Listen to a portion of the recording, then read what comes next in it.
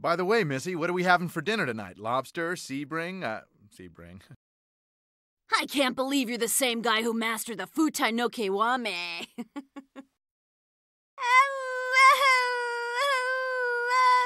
Forget it. It was the.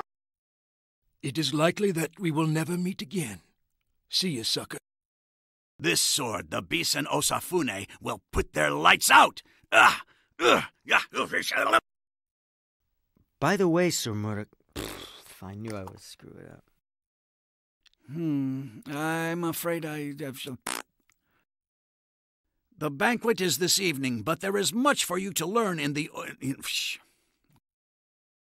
Huh? This miso soup. s- Well, you should look under my robe, Missy. Oh, shut up! At least let me go choke the lizard. The headline will read Hey,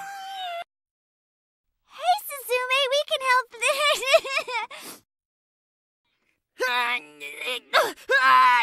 I'm late. Oh, he ate it all. It's a grizzly bear. Passed out drunk again.